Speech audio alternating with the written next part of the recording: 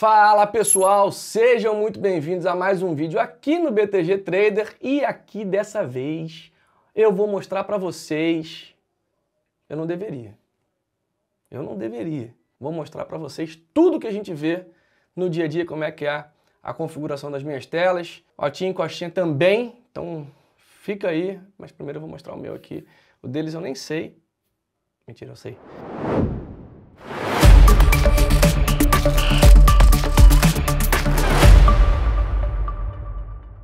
Mas eu vou, vou ver os meus aqui, vou colocar minha tela. Essa tela aqui é a tela que vocês veem a gente no dia a dia, ou seja, aqui na parte de cima, esses dois primeiros gráficos aqui, na parte superior, um gráfico diário, outro semanal, posso até mudar, mas são os gráficos ali que eu uso para ação. Do lado direito aqui o Dow Jones, quando está fechado o Dow Jones a gente bota o Trading View para ficar é, passando o S&P futuro. Já na parte de baixo eu tenho Times and Trades aqui para saber, né, mais de curiosidade, quem é quem ali no, no índice ou no dólar ou em qualquer outro tipo de ativo, como é que está o fluxo, quem é que está comprando, quem é que está vendendo, quem é o maior comprador do dia, quem é o maior vendedor do dia. E aqui, né, nessa parte inferior, do lado esquerdo aqui, praticamente no meio da tela, uh, o índice, índice futuro, e do lado direito uh, inferior o dólar, tá? Então, essa é a tela padrão que vocês já estão conhecidos, já conhecem, já estão acostumados e tal. Cadê o like? Cadê o like? Cadê o joinha? Você vai ter que deixar o joinha aqui, você vai ter que deixar o like. Vou te mostrar aqui a mágica, como é feita a mágica. E aí você agora vai saber o que, que a gente olha no dia a dia, como é que a gente acompanha o mercado, de onde a gente tira todas as informações que a gente passa para vocês no dia a dia mas, pô, você vai deixar o like, você vai comentar no vídeo se está gostando ou não, você vai compartilhar esse vídeo com os amigos. Se você não está inscrito no BTG Trader, você está vacilando, se inscreve agora, porque o que tem de conteúdo aqui, além, é claro, das nossas lives, é brincadeira, né? Então, vamos lá. Vou trocar aqui de tela, vou botar aqui essa aqui, a nossa outra tela, desse lado de cá. Estão vendo aqui, eu tenho, né, nessa tela aqui eu fico alternando entre UTC Economática, que me dá as notícias aqui. Eu tenho outro também, outro, outros lugares para ver notícia, mas é, o TC e o Broadcast são os principais ali. O TC Economática ou o próprio Mover também são aí os dois principais e o Broadcast são os dois principais que a gente acaba acompanhando no dia a dia.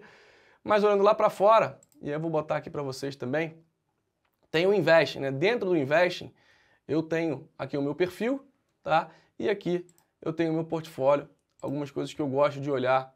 Né? Então eu deixo aqui de vez em quando, eu dou uma olhadinha para saber como é que tá. O TradingView também me mostra, então eu tenho esses dois caminhos para a gente olhar, para ver como é que estão as coisas. E aí eu posso vir aqui né, na, questão de tools aqui, aí tem o calendário econômico, tem calendário de resultados também, dividendos e tudo mais. Então, assim, tudo que vocês precisarem, o Invest é um bom, é um bom caminho aí e gratuito, de forma gratuita, para você conseguir acessar esses dados, tá? Voltando aqui, então, no meu TC Economática, eu tenho todas as notícias aqui do lado esquerdo, aqui do lado direito eu fico vendo algumas coisas, às vezes eu boto alguns ativos, às vezes eu tiro, mas de forma geral eu deixo esses aqui.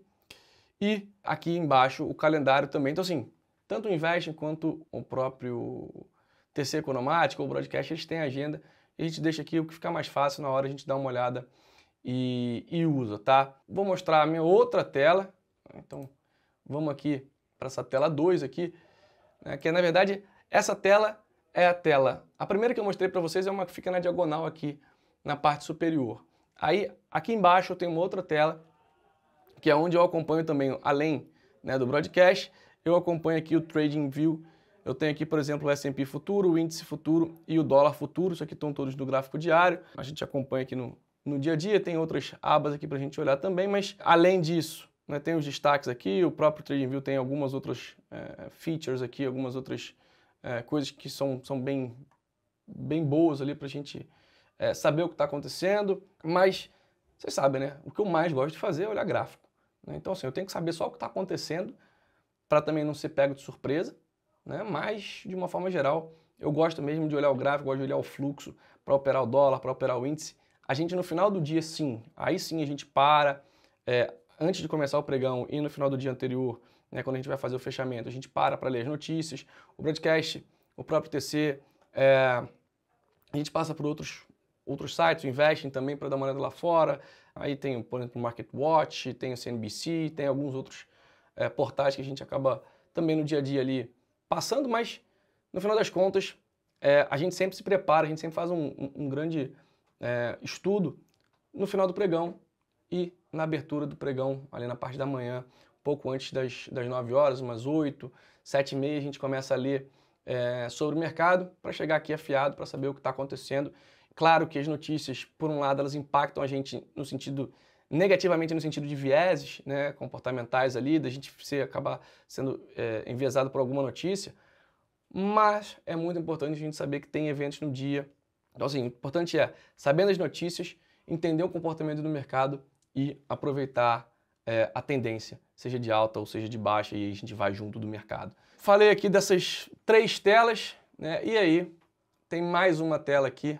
Essa tela aqui, finalmente, é a minha quarta tela. Eu tenho um notebook também que fica aqui com a planilha do trader, você já conhece, vocês já sabem, eu trago normalmente meu notebook e eu deixo ele aqui, mas ele não está no momento. Mas aí eu deixo aqui, ó, nessa tela aqui, fica né, o nosso StreamYard, passando aqui, ó, tá até o nome do Costinha aqui, ó, vou até trocar. Que eu sempre esqueço. E aí, para vocês saberem aqui, ó. Para quem ainda não me segue no Instagram, tá aí, ó. A oportunidade. Ó, acabei de botar aí para vocês.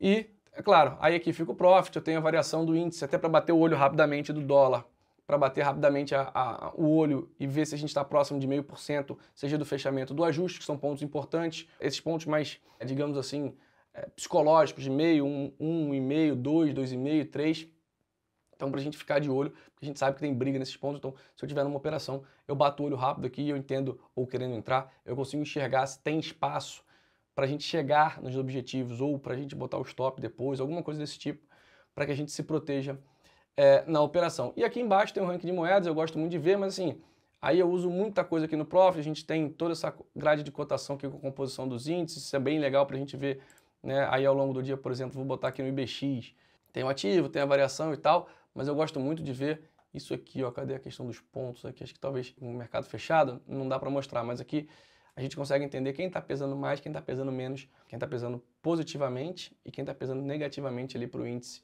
quem tem a maior é, relevância ao longo do dia. A gente tem aqui outras coisas também, outras ferramentas. Né? A gente tem aqui nas cotações também a questão da, da curva de juros. Eu acho importante a gente ficar de olho na curva de juros ao longo do dia, né? para a gente saber, geralmente, curva de juros para cima, mercado para baixo. É, é, claro que não é uma, exatamente uma regra, mas geralmente é isso. Então a gente fica de olho também nessa curva de juros. Acho que é isso, um pouco disso. Aqui também a gente fica alternando aqui entre o YouTube para a gente ver quantos likes vocês estão deixando, como é que estão as coisas, como é que está a transmissão. Então, de uma forma geral, é, é isso aqui que a gente olha, tá? É, não tem muito do que fugir.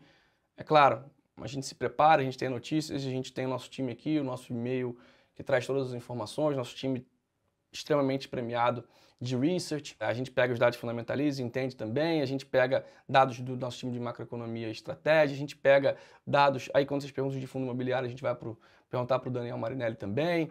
Então assim, aqui a gente tem, óbvio, toda uma estrutura muito boa para que a gente consiga acompanhar o mercado, por isso que a gente consegue levar para vocês, né? não é porque eu, o Otto ou o Coxinha somos aí seres de outro planeta que a gente consegue absorver tudo. Não, a gente tem um time que mastiga, deixa tudo mastigado e a gente só traz para vocês né, a melhor parte aí da informação, da melhor maneira possível, de, um, de uma forma bem, bem mais resumida. E aí, se vocês quiserem sempre é, se aprofundar nos, nos, conteúdos, a gente tem o BTG Content também, que, que, que é a nova plataforma do, do BTG, que você pode acessar quando você acessa lá o site, até o BTG Content lá, então você pode ver os relatórios por lá também. Mas tem que lembrar, né? Tem que ter conta aqui no banco, tem que abrir conta aqui no BTG, não vai ficar, ah, né?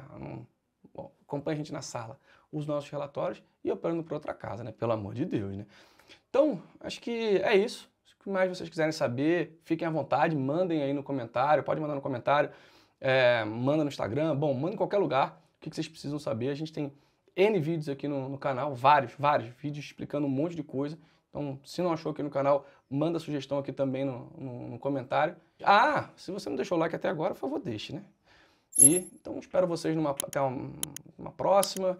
Lembrando, tem sala todo dia, tem vídeo toda semana, então siga o canal, tá? Um grande abraço. Tchau, tchau.